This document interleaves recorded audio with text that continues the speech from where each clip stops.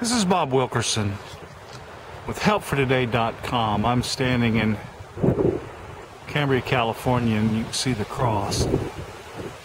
This is daily encouragement. If you ever need encouragement, you go to the cross. Because that's where it all happened.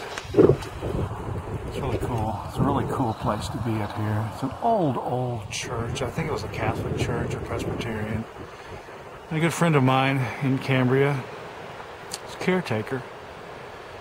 It's just encouraging to come up here and look at the cross and the colors and just a very beautiful place to be.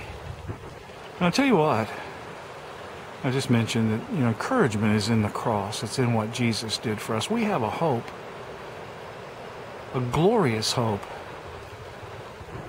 that no matter what happens in our life, that he said he would never leave us or forsake us.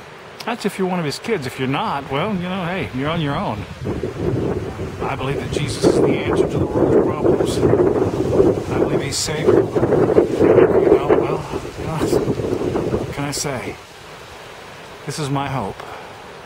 This is my future. This is my today.